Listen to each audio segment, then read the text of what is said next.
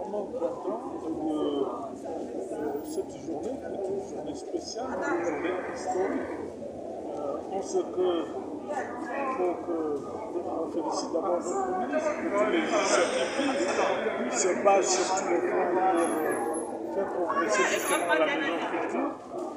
Mais féliciter également les artistes hein, et les acteurs culturels qui sont euh, très nombreux aujourd'hui, sont venus en soutien de, cette, de ces initiatives-là, mais également de féliciter les députés, leur rappeler qu'ils euh, sont sensibles au travail qu'ils cessent d'abattre pour euh, légiférer, pour formaliser tous les secteurs d'activité au développement et surtout, singulièrement aujourd'hui, en ce qui concerne le secteur de Donc moi, en tant que maison, directeur général de, du droit de cœur, il va sans dire que c'est une victoire.